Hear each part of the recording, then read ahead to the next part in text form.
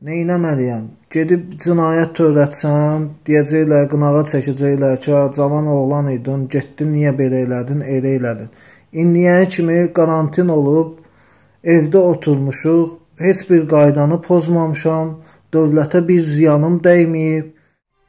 Həmidov Rəşad anası ilə birlikdə Sumqayıt şəhəri 13 nömrəli yataqxanada yaşayır. İşsiz olan şikayətçi pandemiya dönəmi ərzində 190 manat ala bilmədiyini bildirir. Artıq 3 ildir ki, iş üçün müvafiq orqanlara şikayət və müraciətlər ünvanlasa da, heç bir nəticəsinin olmadığını deyən Rəşad ölkə rəhbərliyinə müraciət edir. Salam. Mən Həmidov Rəşad Şahbudağoğlu, Sumqayıt şəhəri 13 nömrəli yataqxanada yaşayıram. Mənim şikayətim var. Mən yaxşı yaşaya bilmirəm, çətindəyəm. Atam 5 ay bundan qabaq rəhmətə gedib. Veteran olub. Vətəninə xidmət edən olub. Özüm də vətənimə xidmət eləmişəm. Hərbidə olmuşam. İndi hal-hazırda işləmirəm. 3 ildir, 4 ildir işləmirəm. Anam şəkər xəstəsidir. Anama baxa bilmirəm. Vəziyyət çətindir, acınacaqlıdır. Mən 190 manata görə müraciət eləmişdim. Adıma imtina gəldi. Dedilər, adında torpaq var. Torpaq mülkiyyətçisən.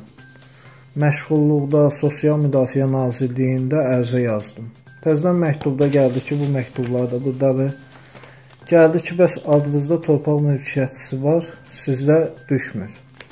Getdim daşınmaz əmlakdan ərizə çıxartdım. 11 manat rüsum ödədim. Bu ərizədə yazılır ki, adınızda heç bir məlumat yoxdur. Yəni adınızda heç nə yoxdur. Cənab prezident İlham Əliyev, sizdən xahiş edirəm.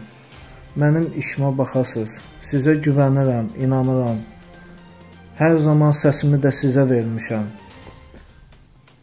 Bir ölkə başçısı kimi mənim işimə baxasınız, mənə kömək eləyəsiniz. Mən çətindəyəm, dardayam. Vəziyyət acınacaqlıdır.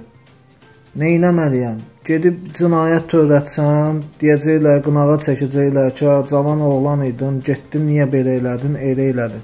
İndiyənə kimi karantin olub, evdə oturmuşuq, heç bir qaydanı pozmamışam, dövlətə bir ziyanım dəyməyib, heç bir bir problemim olmayıb. Mənə 190 manat verilmir. Hal-hazırda işsiz ola-ola. Amma elə vətəndaşlar var ki, halbuki işləri də var, maşınları da var, evləri də var. Onlara 190 manat verilir. Demək belə çıxır ki, bunlar öz yaxınları, qohum əqrəbələrinə kömək edir də. Yəni adi vətəndaşlar ölsün, qırılsın.